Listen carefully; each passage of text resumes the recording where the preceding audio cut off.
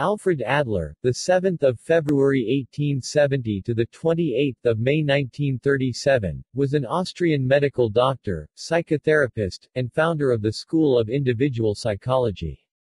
His emphasis on the importance of feelings of inferiority, the inferiority complex, is recognized as an isolating element which plays a key role in personality development.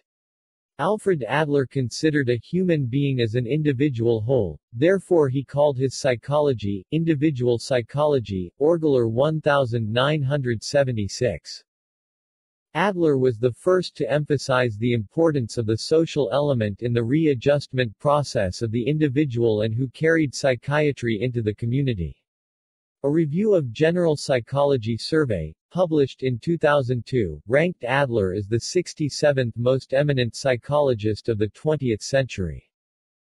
Alfred Adler was born at Mariahilfer Strasse 208 in Rudolfsheim, a village on the western fringes of Vienna, a modern part of Rudolfsheim-Fünfhaus, the 15th district of the city. He was second of the seven children of a Jewish couple, Pauline Beer and Leopold Adler. Leopold Adler was a Hungarian-born grain merchant.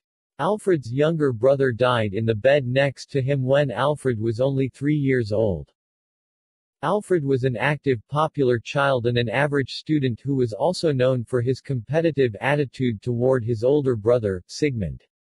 Early on, he developed rickets, which kept Alfred from walking until he was four years old. At the age of four, he developed pneumonia and heard a doctor say to his father, your boy is lost.